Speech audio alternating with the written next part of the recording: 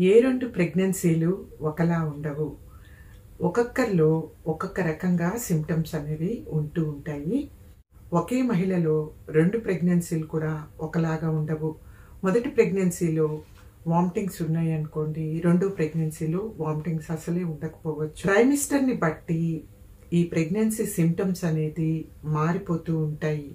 చాలామంది మహిళలు వాళ్ళ ప్రెగ్నెన్సీ లక్షణాలని వేరే వాళ్ళతో కంపేర్ చేసుకుని వాళ్ళకు ఉన్నాయి మాకు లేవు మరి ఇది నార్మల్ ప్రెగ్నెన్సీ కాదేమోనని అపోహపడుతూ ఉంటారు. చాలా మంది మహిళల్లో కేవలం మిస్సెడ్ పీరియడ్ మాత్రమే ఉంటూ ఉంటుంది. వీళ్ళలో వేరే ప్రెగ్నెన్సీ లక్షణాలు ఏవి కూడా ఉండవు. మరి నార్మల్ హెల్దీ ప్రెగ్నెన్సీలో వచ్చే ఈ ఎర్లీ సైన్స్ సిమ్టమ్స్ ఎలా ఉంటాయి? ఏమేమి ఉంటాయి? వీటన్నిటి గురించి మనము ఇప్పుడు వివరంగా డిస్కస్ చేసుకుందాము. Hello viewers welcome back to Geetha's health care నేను డాక్టర్ గీత కన్సల్టెంట్ గైనకాలజిస్ట్ మరియు general surgeon practising in Warangal more than fifteen years normal healthy ప్రెగ్నెన్సీలో ఉండే ఎర్లీ సైన్స్ సిమ్టమ్స్ ఎలా ఉంటాయి? ఏమేమి లక్షణాలు ఉంటాయి? ఇందులో మొదటిది మిస్డ్ పీరియడ్ ఇది సాధారణంగా మనకు కనిపించే మొదటి లక్షణం. చాలా మందికి రెగ్యులర్ పీరియడ్స్ ఉన్నాయనుకోండి వీళ్ళకి మిస్డ్ పీరియడ్ అనేది వస్తూ ఉంటుంది. రెగ్యులర్ పీరియడ్స్ ఉన్న వాళ్ళకి నాలుగైదు రోజుల తర్వాత టెస్ట్ చేసుకుంటే వీళ్ళకి యూపీటీ టెస్ట్ పాజిటివ్ వస్తూ ఉంటుంది. ఇర్రెగ్యులర్ పీరియడ్స్ ఉన్న మహిళలు వీళ్ళు ప్రెగ్నెన్సీ టెస్ట్ని ఒక వారం ఆగి చేసుకుంటే వీళ్ళకి పాజిటివ్ రిజల్ట్స్ రావడానికి ఎక్కువ అవకాశాలు ఉంటాయి. మామూలుగా పీరియడ్ మిస్ అయింది అంటే దాదాపుగా తొంభై శాతము అది ప్రెగ్నెన్సీగానే ఉంటుంది. మరికొంతమందిలో ఈ హార్మోనల్ డిజార్డర్స్ ఉన్నప్పుడు మిస్డ్ పీరియడ్ అనేది కూడా వస్తూ ఉంటుంది. కాకుంటే వీళ్ళకి ఈ యూరినరీ ప్రెగ్నెన్సీ టెస్ట్ అనేది నెగిటివ్గా ఉంటూ ఉంటుంది. తర్వాత సిమ్టము ఇంప్లాంటేషన్ బ్లీడింగ్. వీరకణము అండంతో కలిసి ఫలదీకరణ జరిగిన తర్వాత ఈ పిండం అనేది గర్భసంచిలోని గోడలోకి వెళ్ళి ఇది ఆ గోడలకు చొచ్చుకుని పోయి అక్కడ అది స్థిరపడి పిండంలాగా ఎదుగుతూ ఉంటుంది. ఇది ఆ గోడలోకి చొచ్చుకొని పోయే క్రమంలో చుట్టూ ఉన్న బ్లడ్ వెజల్స్ని బ్రేక్ చేస్తూ ఉంటుంది. దీనివల్ల ఇంప్లాంటేషన్ బ్లీడింగ్ అనేది వస్తూ ఉంటుంది. ఇంప్లాంటేషన్ బ్లీడింగ్ ఫర్టిలైజేషన్ అయిన తర్వాత అంటే ఓవులేషన్ జరిగిన తర్వాత ఆరు నుంచి పన్నెండు రోజుల్లో యూజువల్గా కనిపిస్తూ ఉంటుంది. ఇంప్లాంటేషన్ బ్లీడింగ్ని చాలామంది మహిళలు వాళ్ళ పీరియడ్గా వీళ్ళు పరిగణిస్తూ ఉంటారు. కొంతమంది పీరియడ్ వచ్చిన తర్వాత కూడా ప్రెగ్నెన్సీ వచ్చింది అని అపోహపడుతూ ఉంటారు.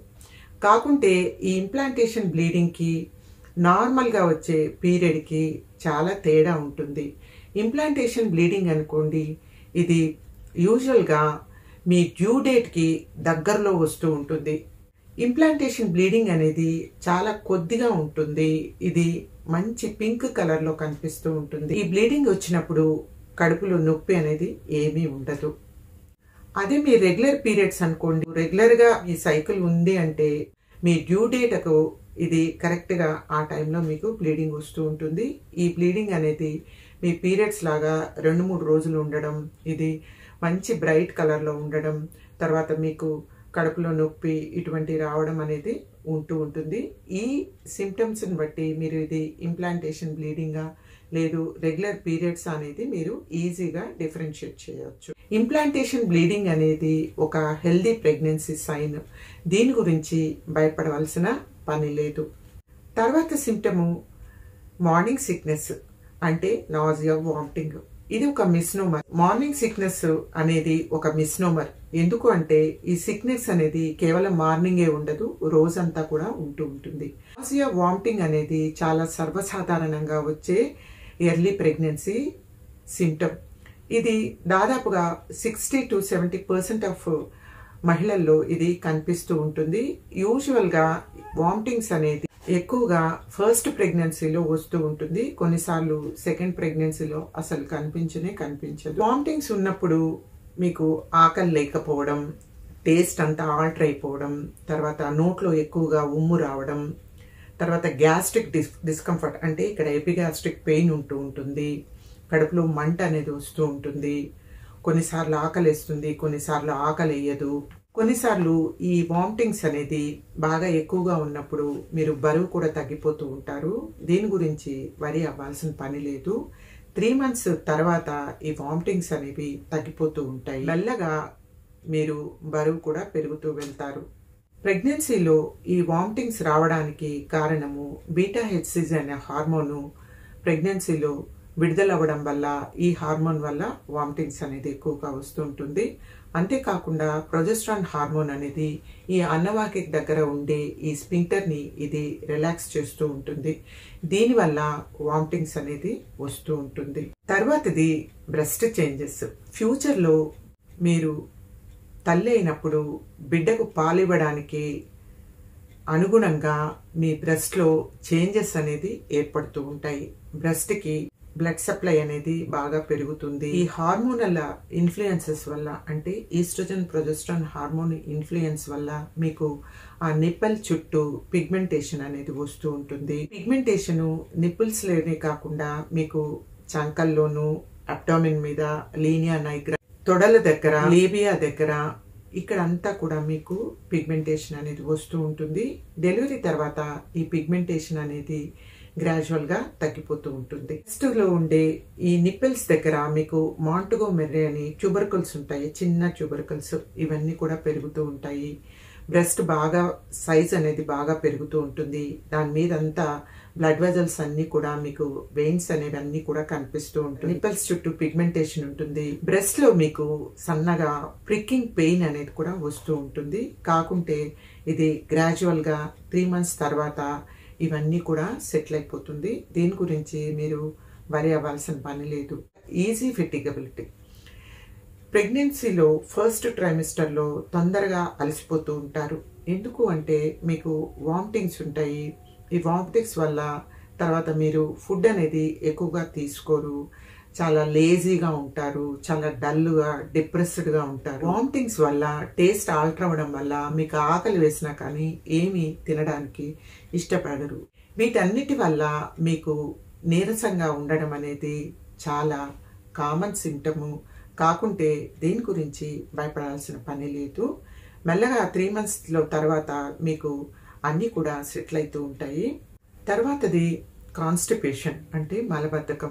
కాన్స్టిపేషన్ అనేది ప్రెగ్నెన్సీలో చాలా సర్వసాధారణంగా కనిపించే లక్షణము.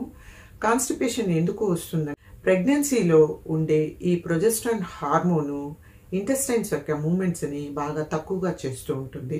దీనివల్ల మీకు మలబద్ధకం అనేది వస్తూ ఉంటుంది.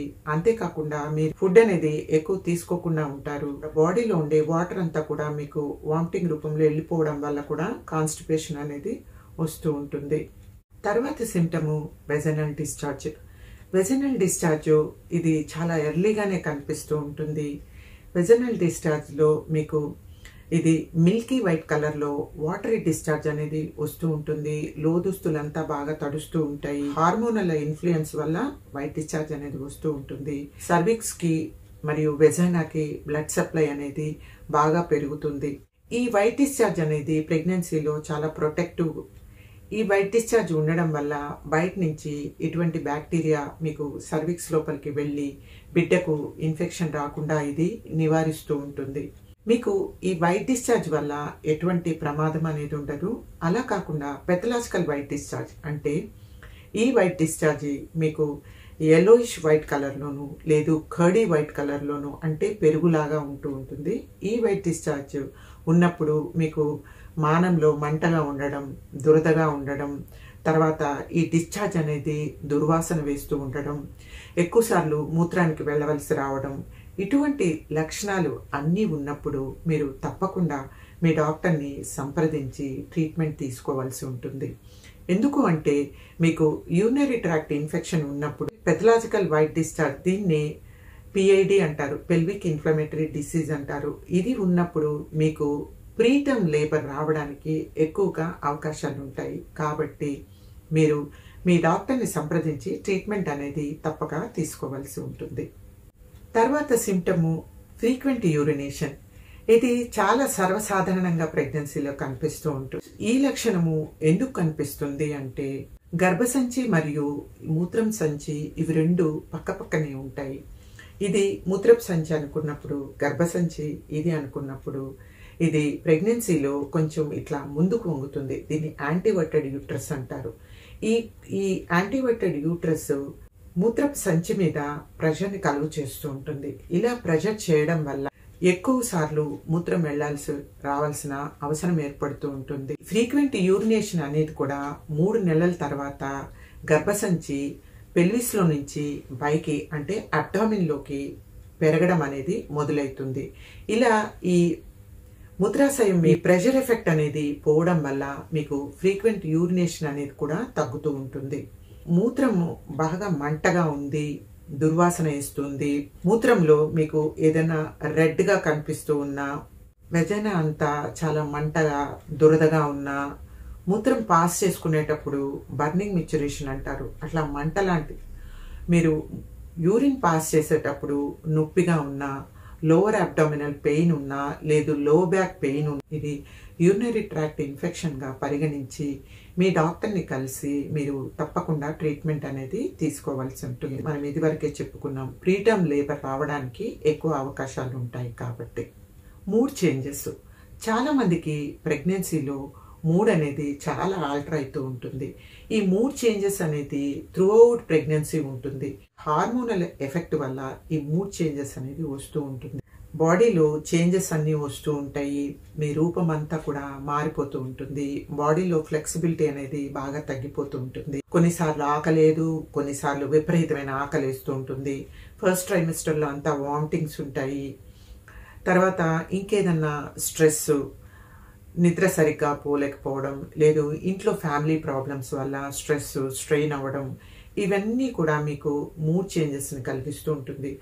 అకారణంగా కోపం రావడం అరవడము ఇంబ్యాలెన్స్డ్గా ఉండడము సరిగ్గా నిద్రపోకపోవడము ఇటువంటి లక్షణాలన్నీ కూడా ఈ మూడ్ చేంజెస్లో కనిపిస్తూ ఉంటాయి. మరొక common symptom aversion to food చాలామందికి ప్రెగ్నెన్సీలో చాలా ఫుడ్స్ అనేవి వీళ్ళు చూసిన లేదు వాసన వచ్చిన వీళ్ళు వామిటింగ్స్ చేసుకుంటూ ఉంటారు. చాలామందికి గంజి వాసన పడకపోవడం ఆనియన్ వాసన పడకపోవడం తర్వాత చపాతీల వాసన పడకపోవడం కొంతమందికి కొన్ని కొన్ని రకాలైన వాసనలకు వీళ్ళకు ఎవర్షన్ అనేది వస్తూ ఉంటుంది. ఇది ప్రెగ్నెన్సీలో చాలా సర్వసాధారణమైన సిమ్టమ్ తర్వాత సిమ్టము హెడేక్ చాలామందికి హెడేక్ అనేది ఫస్ట్ ట్రైమిస్టర్లో కనిపిస్తూ ఉంటుంది. ఎందుకు అంటే వీళ్ళు వామిటింగ్స్ చేసుకోవడం వల్ల వీళ్ళ బాడీలో ఉండే వాటర్ అంతా కూడా బయటకు వెళ్ళిపోతూ ఉంటుంది. దీనివల్ల బాడీలో బీపీ అనేది నార్మల్గా ఉన్న బీపీ కన్నా తక్కువ అవుతూ ఉంటుంది. దీనివల్ల వీళ్ళకి హెడేక్ అనేది వస్తూ ఉంటుంది. వామిటింగ్స్ ఎక్కువగా అవుతూ ఉండడం వీళ్ళు ఫుడ్ సరిగ్గా తీసుకోకపోవడం వల్ల బాడీలో హైపోగ్లైసిమియా ఉంటుంది. హైపోగ్లైసిమియా కూడా మీకు హెడేక్ని కాజ్ చేస్తుంటుంది. వీళ్ళకు వామిటింగ్స్ ఊరికే సలైవా వస్తూ ఉండడం నోట్లో ఇవన్నీ ఉండడం వల్ల కొంతమందికి తీసుకున్న వాటర్ కూడా వీళ్ళు వామిట్ చేస్తూ ఉంటారు. వాటర్ కూడా వీళ్ళు చాలా తక్కువగా తీసుకుంటూ ఉంటారు. ఈ అన్ని కారణాల వల్ల హెడేక్ అనేది వస్తూ ఉంటుంది. తర్వాత symptom back ache. First three months uterus పెల్విస్లోకి ఉంటుంది. ఈ పెల్విస్ నుంచి ఇది పైకి పెరిగే క్రమంలో యూట్రస్ని సపోర్ట్ చేసే లిగమెంట్స్ యూట్రస్ నుంచి పెల్విక్ సైడ్ గోడలకు ఈ రకంగా ఇది స్ప్రెడ్ అయి ఉంటుంది. ఈ సైడ్ గోడల నుంచి రౌండ్ లిగమెంట్స్ అవి వచ్చి యూట్రస్ని పొజిషన్లో పట్టి ఉంచుతాయి. ఈ పెరిగే క్రమంలో ఈ లిగమెంట్స్ ఎక్కువగా స్ట్రెచ్ అవుతూ ఉంటాయి. ఈ స్ట్రెచ్ అవడం వల్ల మీకు లోవర్ అబ్డామినల్ పెయిన్ అనేది వస్తూ ఉంటుంది. అంతేకాకుండా ప్రెగ్నెన్సీలో రిలాక్సిన్ అనే హార్మోను సెక్రెట్ అవుతూ ఉంటుంది. రిలాక్సిన్ హార్మోను సెక్రెట్ అవ్వడం వల్ల ఈ లిగమెంట్స్ అవి లూజ్గా అవుతూ ఉంటుంది. వీటి వల్ల కూడా మీకు పెయిన్ అనేది వస్తూ ఉంటుంది. చాలామంది అబ్నార్మల్ పోస్చర్లో వీళ్ళు ఉంటూ ఉంటారు. ఈ అబ్నార్మల్ పోస్చర్స్ వల్ల కూడా బ్యాక్ ఎక్ అనేది వస్తూ ఉంటుంది. మరికొంతమంది ఇంట్లో వీళ్ళు ఇంటి పని వంట పని చేసుకున్నప్పుడు ఎక్కువగా స్ట్రెయిన్ అవుతూ ఉంటారు. దీనివల్ల కూడా బ్యాక్ ఎక్ వస్తుంటుంది. మీరు బ్యాక్ ఎక్ రాకుండా ఉండాలి అంటే మీరు ఏదైనా వంగి నేల మీద నుంచి ఏదైనా తీసేటప్పుడు మీరు మీ నడుమును వంచకుండా కేవలం మీ మోకాలను మాత్రమే వంచండి.